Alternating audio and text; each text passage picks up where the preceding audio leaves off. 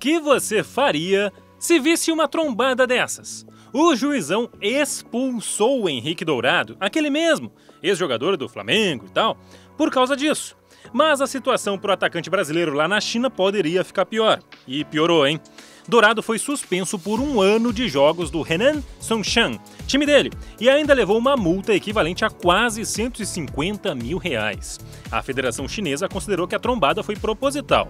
Na nota oficial, os cartolas dizem que esperam proteger em conjunto a ordem da competição e o ambiente de desenvolvimento do futebol. O árbitro, Niang Ma, até parecia que ia levar uma boa incidente, mas depois expulsou Dourado. Que coisa, hein?